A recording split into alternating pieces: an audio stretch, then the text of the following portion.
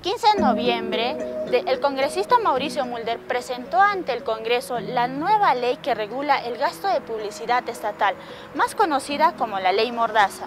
Desde ese momento se han creado diversas opiniones por los medios de comunicación. Para hablar de la Ley Mordaza, como la ha llamado el propio presidente de la República, 70 votos a favor. Porque les restringe severamente su derecho a recibir información, el derecho a tener información. Los 600 millones de soles que el Estado transfiere a diversos medios de comunicación casi por año. Pero quiero llegar a lo siguiente, el tema no es no dar acceso a la información, etc. El tema es aquí presupuestario. Debería debatir y creo yo aprobar la mal llamada ley Mordaza, ni ley Mulder. Debería ser llamada la ley antimermelada. El docente Alberto García Campana de la Escuela Profesional Ciencias de la Comunicación dio a conocer su punto de vista sobre esta ley. Eh, es una ley mordaza, es una ley que eh, prohíbe en la práctica a los gobiernos centrales y subnacionales, es decir, los gobiernos regionales y gobiernos municipales, a invertir en publicidad, es decir, a contratar eh, avisaje en los medios de comunicación privados. Creo que por principio nosotros debemos manifestar nuestra total oposición. Pero esto tiene un origen, si ustedes me permiten explicar un poco más. El dispendio, el despilfarro que se hizo en anteriores gobiernos y en, el, actual inclusive, porque gran parte del presupuesto ¿no? asignado o destinado para, eh, para trabajos, para acciones de mayor importancia, se ha destinado a pagar a los medios de comunicación. Entonces, cuando la gente se entera que son muchos millones de soles, me parece que el año pasado el gobierno gastó alrededor de 800 millones de soles en la publicidad en todos los medios de comunicación. Entonces la gente dice, es necesaria la publicidad. Entonces, cuando hay una distorsión, genera rechazo en la población, pero la esencia para mí es distinta. La esencia es que se trata de arrinconar al gobierno del señor Vizcarra y maniadarlo de tal manera que pueda ahogarse y morir. La ley Mordaza, si bien es cierto, limita la comunicación entre la población y el Estado, esto también ayuda a que sea regulado de manera eficiente. Recordemos también que hay una amplia diferencia entre publicidad dedicada a promocionar un producto muy diferente a la propaganda donde se vende alguna ideología.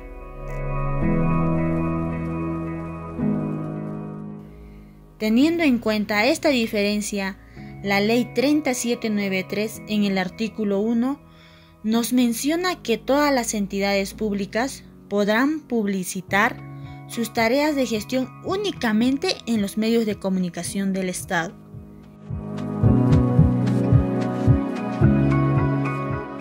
Algo que limitaría la libre información de la población peruana porque la mayoría de la población no solo mira el canal del Estado, sino los demás canales que poseen un amplio horario de entretenimiento.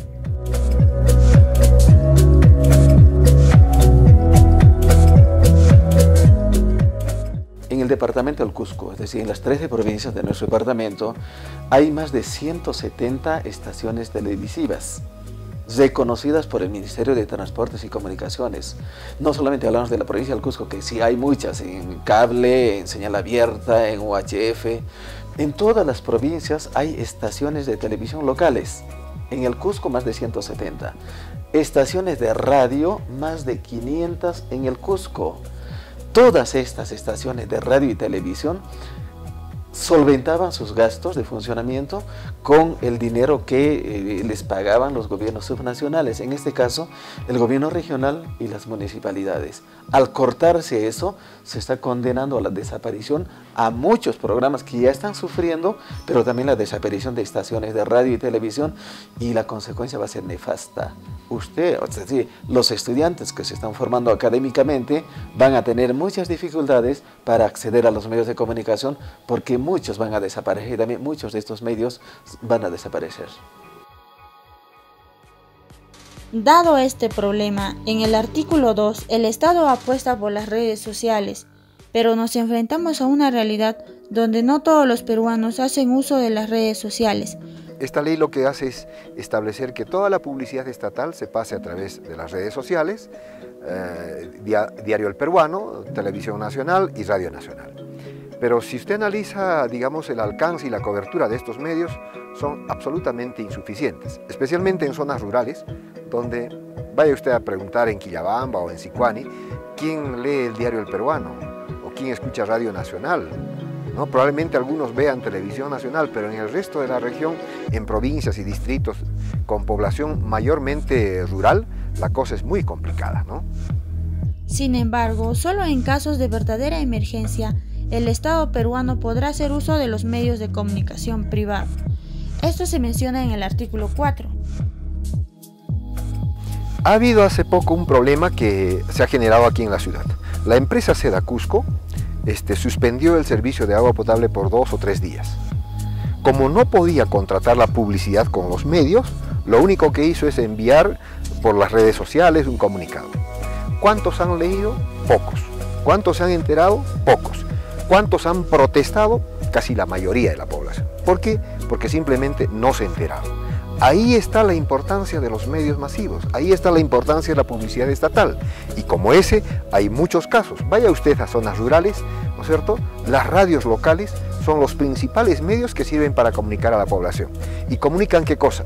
Asambleas, reuniones, campañas de salud, campañas agrícolas, campañas de sensibilización, en fin, una serie de necesidades que tienen los gobiernos locales para comunicar a la población. Y eso está prohibido en este momento.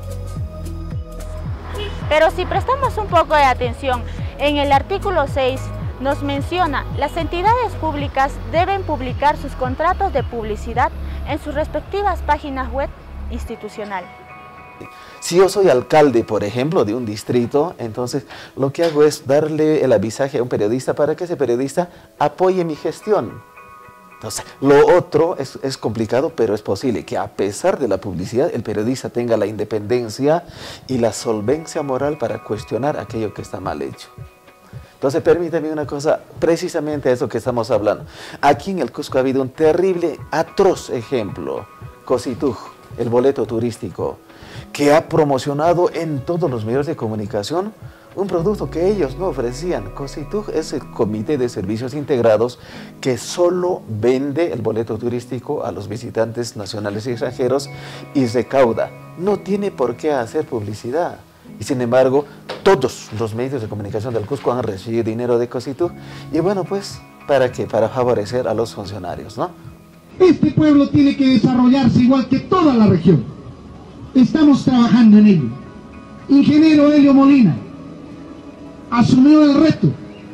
Esto sí será beneficioso para la población, ya que estamos hablando que la población peruana sabrá cuánto invierte cada municipio en publicidad, evitando así la malversación de fondos.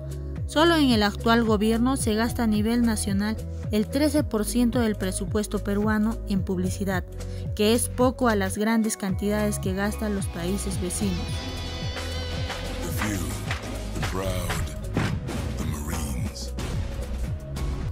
Y yo tengo el siguiente temor. Si, por desgracia para el país, la señora Fujimori ganara las elecciones del 2021, le aseguro que lo primero que haría sería derogar esta ley. Lo primero que harían sería derogar esta ley. Entonces, están atacando a un gobierno débil, intrascendente como el del señor Vizcarra, metiéndole una ley que le impide dar a conocer las acciones de gobierno. Entonces si otro va a entrar, van a decir, no, esta ley no era prudente, no era pertinente, la vamos a derogar. Y otra vez, el gobierno va a desembolsar grandes cantidades de dinero para pagar a los medios y para que le hagan pues imagen. Ahora, mm, yo espero que el Tribunal Constitucional este, resuelva favorablemente y declare inaplicable la ley. ¿Por qué? Porque en toda América Latina no existe un solo país donde haya una ley que prohíba la publicidad estatal. En todos los países lo que hacen los estados es regular, es decir, establecer criterios y procedimientos para la publicidad estatal, pero nadie prohíbe. Entonces, ese es un derecho, por ejemplo, que se ha vulnerado y seguramente el tribunal lo va a tomar en cuenta.